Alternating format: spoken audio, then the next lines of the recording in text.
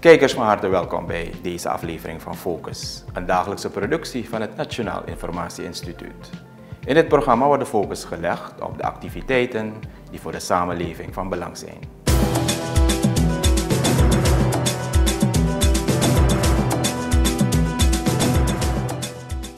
Vandaag hebben we voor u in focus. Minister van Buza uit Colombia bezoekt minister Polak Bigli en vicepresident Adin. Commissie Grondenrechten maakt kennis met traditionele gezagsdragers. Team Kanaal Caribe praat met president Bouterse. Gebroeders Dongo glansrijk uit try-out fase. En het staatshoofd gaat in op actuele zaken.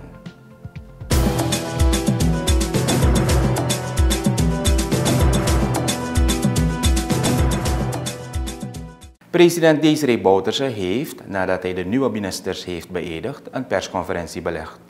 Journalisten hebben van de gelegenheid gebruik gemaakt om het staatshoofd vragen te stellen over een aantal actuele zaken. President Bouterse ging in op hetgeen de mediawerkers aan de orde brachten.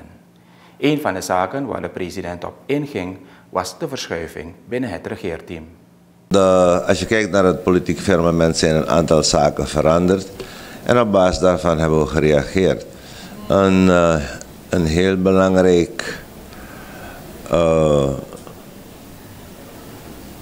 mijlpaal is natuurlijk geweest, onder andere de nieuwe wet welke is aangenomen ten aanzien van de, het alleen de verkiezingen ingaan.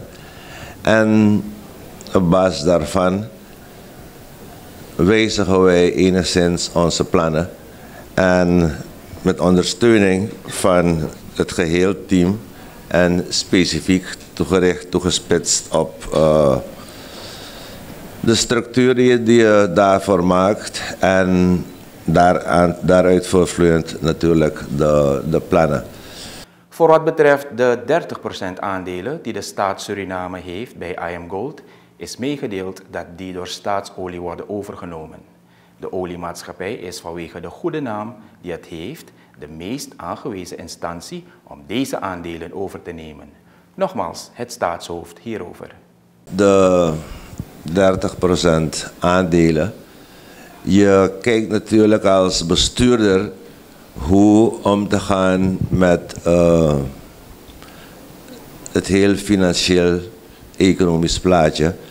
En wij hebben dan uiteindelijk uh, besloten om in samenwerking met staatsolie de zaken daar te plaatsen. Staatsolie is de beste infrastructuur op dat stuk. Staatsolie is internationaal een uh, zeer kredietwaardig bedrijf.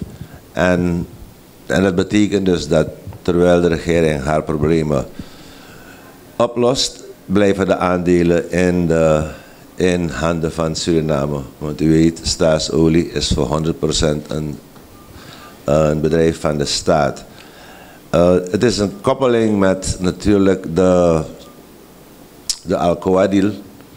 Dan bedoel ik hiermee de overname van de Afobakadam, complexe materie. Daar zijn twee groepen juristen die zijn de aller, aller, allerlaatste regeltjes aan het doornemen om te voorkomen dat we misstappen maken, dat we zaken over het hoofd zien en dat we onze de generaties na ons niet gaan opzadelen met zaken die uh, wij hadden kunnen voorzien.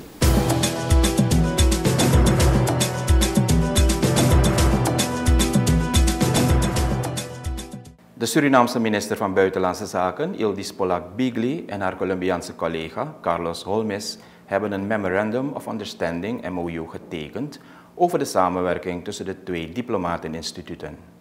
Na een bilaterale band van langer dan 40 jaren is het gelukt om in 2017 een Suriname Diplomatic Institute te lanceren. De ondertekening vond plaats op 16 mei 2019 op het ministerie van Buitenlandse Zaken in Suriname.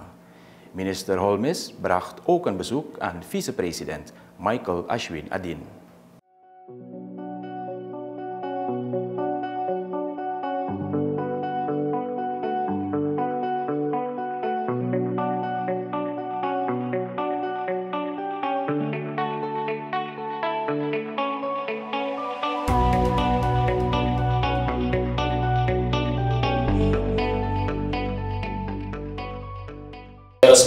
Smaller country, smaller market, we have also also a big institutional capacity issues.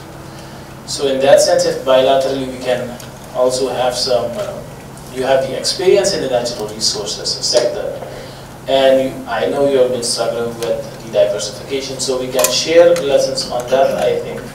And it's very important for us, the institutional capacity issue, and the strategy towards diversification, and the options in which kind of more green and other kinds of technology are there, in which there are markets. Um, so I think that's why that was one of the reasons why we went into this uh, traditional medicine, and uh, because the knowledge was there, but the potency was there, and you have the people that are having this knowledge, having this knowledge and practice. So um, diversification, we would look, look forward to some institutional capacity.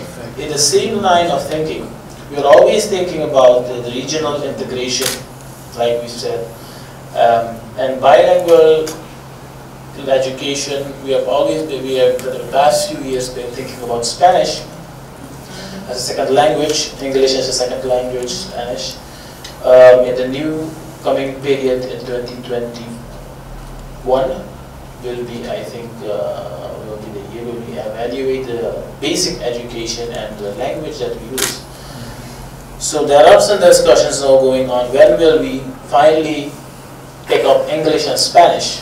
Because for the integration, education system and the institutional capacity that I just mentioned, will be a very big, will uh, catapult us to have better um, involvement of capacity that is in the region for our development, even if it's diversification, natural resources, and so on.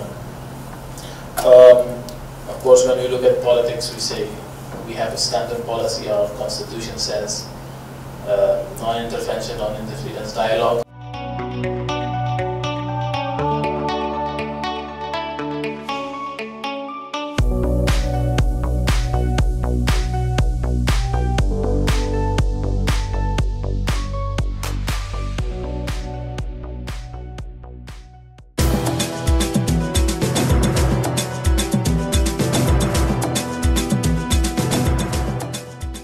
Het managementteam Erkenning Grondenrechten Inheemse en Tribale Volken heeft een kennismakingsbijeenkomst georganiseerd met traditionele gezagsdragers. Deze bijeenkomst werd gehouden in de congreshal op donderdag 16 mei 2019 en was bedoeld om de verschillende gezagsdragers van de inheemse en tribale volken in staat te stellen kennis te maken met de leden van de commissies, het managementteam en het secretariaat. Minister Edgar Diekan van het ministerie van Regionale Ontwikkeling hierover.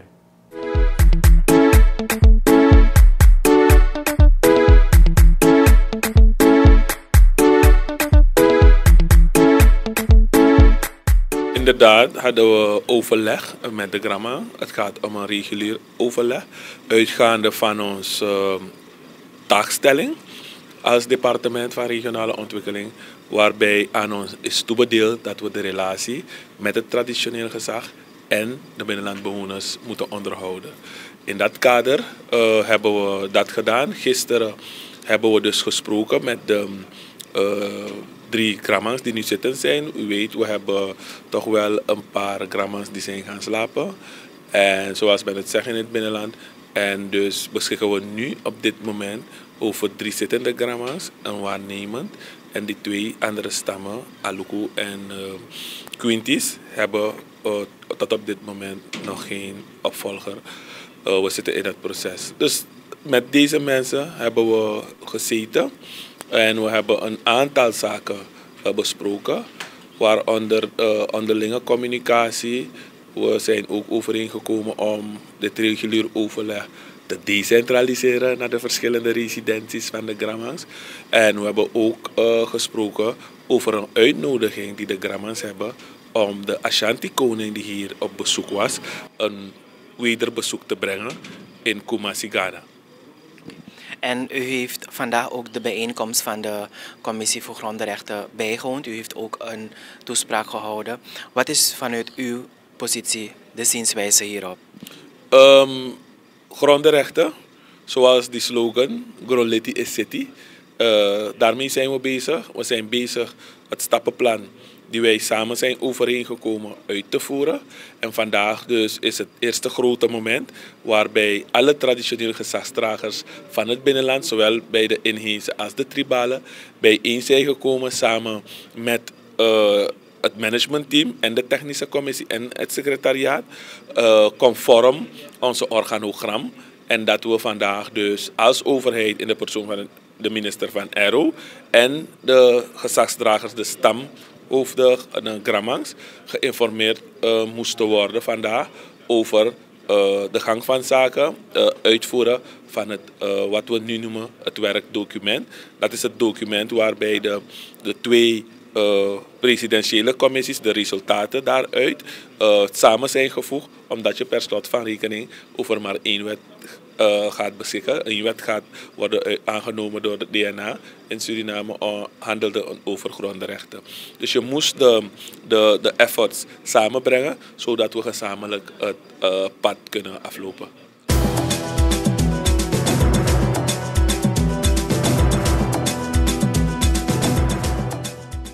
In het kader van 40 jaar diplomatieke betrekkingen tussen Suriname en Cuba is er momenteel een team van Kanaal Caribe in Suriname. Er wordt een documentaire in elkaar gezet om de relatie Suriname-Cuba te accentueren en de communicatie te verbeteren. In verband hiermee heeft het team een gesprek gehad met president Desiree Bouterse, de ministers Gilmore Hoefdraad, Lalini Gopal en Ildis Polak-Bigli en DNA-lid Celsius Waterberg, voormalig medisch student in Cuba. Ook zal de groep een gesprek hebben met de directie van de Surinaamse Televisiestichting, STVS, en het Nationaal Informatie Instituut over een samenwerking.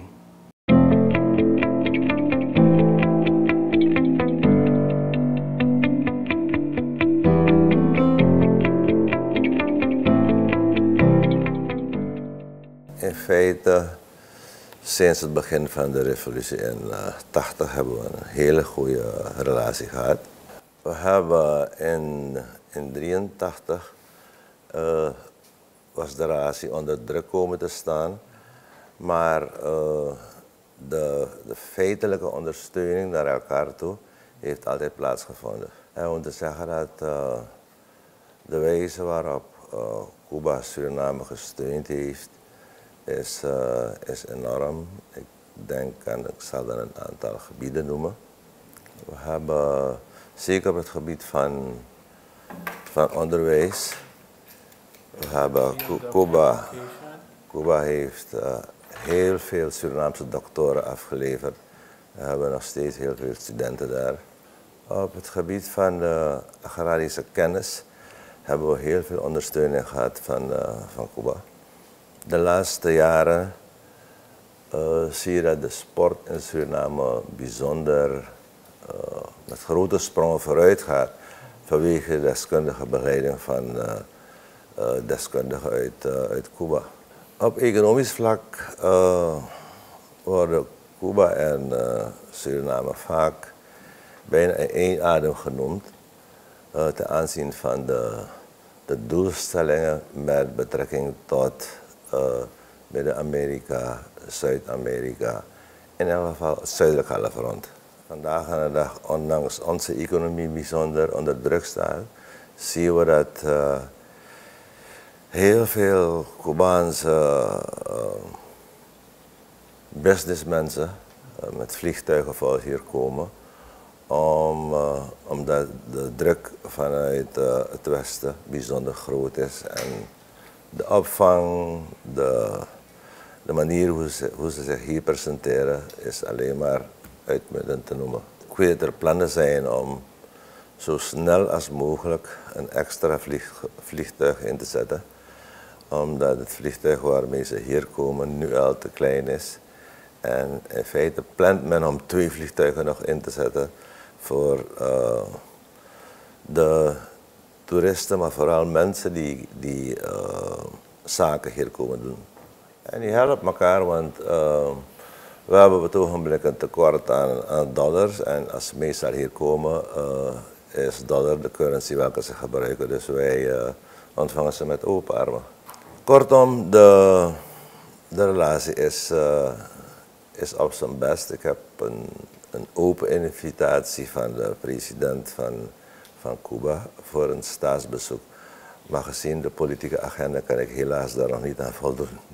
We weten dat uh, Cuba enorm onder druk zit, maar wij willen van de gelegenheid gebruik maken om uh, de regering, de president, uh, het Cubaans volk te, aan te moedigen en aan te geven dat ze een kleinere broer hebben hier in het Caribisch gebied, welke er alles aan zal doen om de ondersteuning te geven. Toen wij, in grote moeilijkheden zaten, uh, hebben wij ongevraagd hebben die ondersteuning gekregen. Ik denk niet dat het een kwestie is dat men ons zou moeten vragen. Ik denk dat het onze plicht is om elkaar te ondersteunen. We zijn er en uh, men zal dat ook merken.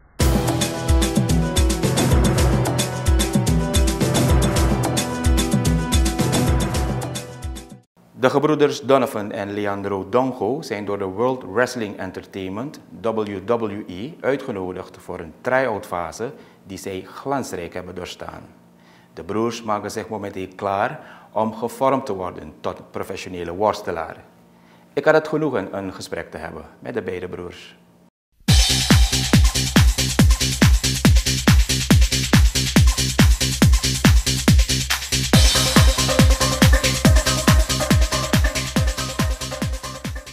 Ja, mijn naam is Donovan Dongo en uh, mijn broertje en ik zijn nu, uh, ja, beroemd. Dat is niet zo belangrijk voor ons, maar we zijn nog, uh, we zijn nog aan, het, aan, het, aan het kruipen naar de, naar de top van World Wrestling Entertainment. Op een of andere dag was ik aan het werk en zoals ik gewend ben, kijk ik vaak naar worstelen op YouTube en zo. Dan kwam, kwam er een ad en het was een WWE tryout ad. Ik schrok en ik dacht van moet ik het invullen? En toen vroeg ik aan mijn vrouw van, hé, hey, ik appte er van, hé, hey, check. Wat, wat denk je? Vul het en je weet maar nooit. En ik heb het toen ingevuld. Uh, was vergeten. Ik sprak nog met een paar vrienden van, hé, hey, waar kan ik sponsoren vinden, bla bla bla en zo. En ja, uh, ik heb enkele vrienden die hebben gezegd van, boy, dan je, je door, wiens va. Was aan, wat je de voor en zo. Uh, en ik was een zondag thuis en ik kreeg een mail. En het was van World Wrestling Entertainment van een van die talent scouts en zo. En hij vroeg van, uh, hij gaf aan, congratulations, is die mail. Um, you were chosen um, because, of your, because of your athletic background, en zo. Yeah. En uh, ze doen zelfs een check-up, toch een background check-up, ja. Want uh, ja, iedereen kan gewoon zeggen, van, ja, ik ben wereldkampioen of ik ben dit, ik ben dat. En al die dingen dat je hebt aangegeven gaan ze ook zelfs onderzoeken en kijken als het daadwerkelijk zo is. Um, ja, en die dag was het al een beetje een schok voor ons. En voor iedereen thuis, want ik, ik wees mijn vrouw die meer. Ik zei van Liesje, Liesje, misschien, misschien zie ik niet zo goed en zo.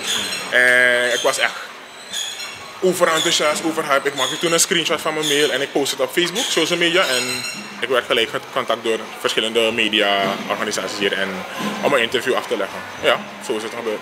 Nice. Wat doen jullie in het dagelijks leven? Mm, ik ben uh, momenteel hier al aantal maanden personal trainer bij de Multibox.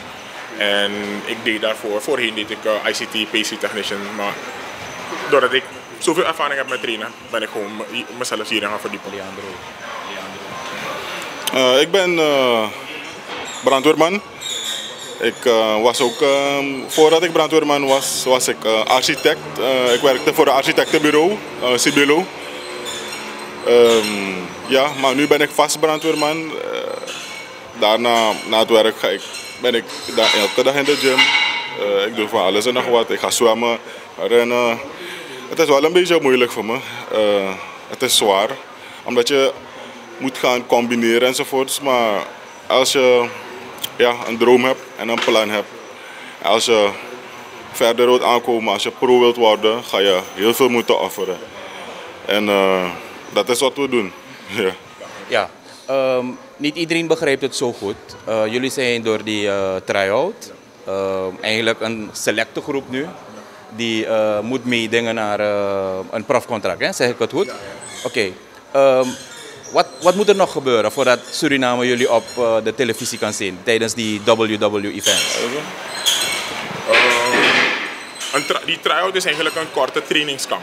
Waarbij ze dan kijken als je dan gezond, fit genoeg bent om mee te kunnen gaan. Want je moet begrijpen, het is, het is, men zegt het is World Wrestling Entertainment, het is een sport.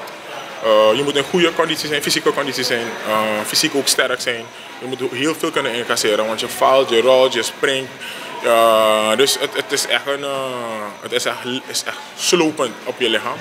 En in die, in die, zes, in die zes, zeven trainingsdagen, die kamp, checken ze echt van, hey, oké, hij kan meegaan, oké, dan gewoon hem nu. Dan is hun systeem dat ze een, een developmental contract aan je aanbieden. En daar word je dan begeleid naar, behalve dat je uh, het sportgedeelte doet, het atletische gedeelte, heb je dan ook dat ze je, je gimmick, dus je karakter, wat zij willen dat je moet uh, uitbrengen, ga je daar ook daarop getraind worden, um, uh, praten tot publiek en dat soort dingen. Want dat is weer wat anders. Dat is helemaal iets anders. Dat zijn dingen waaraan we niet gewend zijn nog. Die aan Ja. Dus je wordt erg training. Ja, heel veel training. Het is een korte periode, want ze zeggen eigenlijk om pro-wrestler te worden, daar moet je eigenlijk jaren op de independent circuit dan worstelen. En het is net als een, er komen talent scouts naar bepaalde shows daar en dan worden ze gepikt en dan krijgen ze een, ook een, zo'n try-out aanbieding en dan kijken ze even, oh hij kan naar binnen. Maar voor ons hebben we alleen een atletische achtergrond, we hebben geen professional wrestling achtergrond, omdat er hier geen professional wrestling is. Dus wij moeten vanaf nul eigenlijk wat dat betreft. Het enige voordeel is, we hebben al een atletische achtergrond.